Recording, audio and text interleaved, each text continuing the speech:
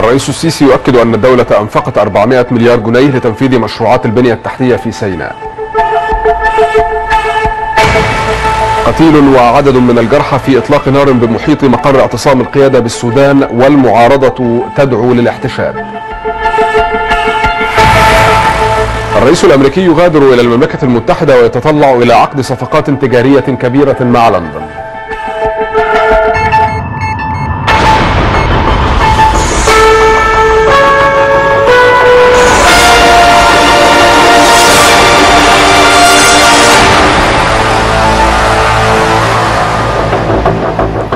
موجز أنباء السابعة صباحا من اكسترا نيوز أهلا بحضراتكم. أكد الرئيس عبد الفتاح السيسي أن الدولة أنفقت 400 مليار جنيه لتنفيذ مشروعات البنى التحتية في سيناء. مشيرا إلى أن المشروعات تشمل إنشاء طرق جديدة وتحلية مياه البحر وإقامة مصانع واستصلاح اراض زراعية وإقامة منشآت تعليمية وغيرها من الخدمات الجماهيرية والتنموية. وخلال كلمته أثناء مشاركته حفل إفطار الأسرة المصرية أعلن السيسي قضاءه أول أيام عيد الفطر المبارك مع أسر شهداء القوات المسلحة والشرطة.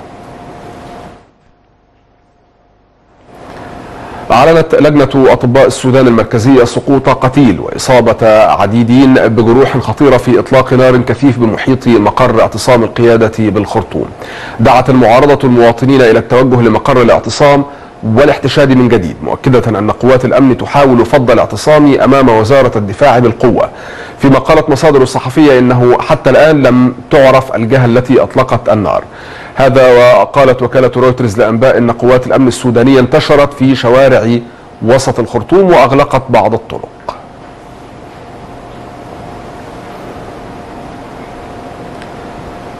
أكد وزير الدولة السعودي للشؤون الخارجية عادل الجبير أن بيان القمة العربية أكد على مركزية القضية الفلسطينية مشيرا إلى أن تحريف قطر للحقائق ليس مستغربا. أضاف الجبير أن قطر تحفظت على بيانين يرفضان تدخلات إيران في شؤون المنطقة معتبرا الدول التي تمتلك قرارها تعلن مواقفها أثناء الاجتماعات والقمم وليس بعد انتهائها.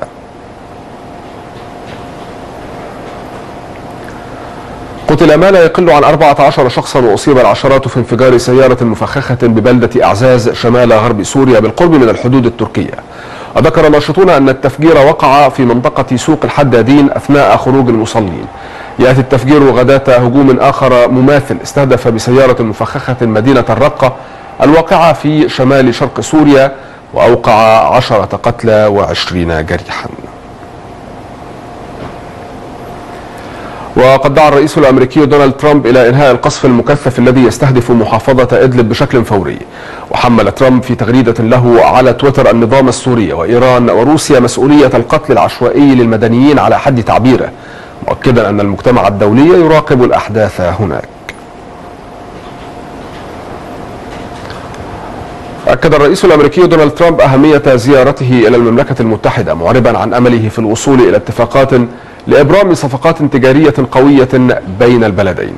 قال ترامب قبل مغادرته إلى لندن في زيارة تستغرق ثلاثة أيام إنه قد يعقد اجتماعات مع زعيم حزب البريكزت نايجل فراج ووزير الخارجية السابق بوريس جونسون على هامش الزيارة لمناقشة ملف خروج بريطانيا من الاتحاد وتداعيات ذلك المحتملة على العلاقات بين البلدين.